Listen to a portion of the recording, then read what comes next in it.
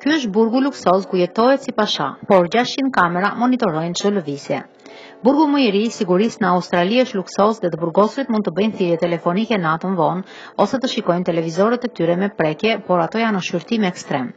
Ky është qendra korrektuese e Hunter në veri të Sidneit dhe autoritetet e burgut besojnë se mund të jetë e ardhmja e rehabilitimit të disa prej vrasësve, përdhunuesve dhe kriminelëve të karrierës.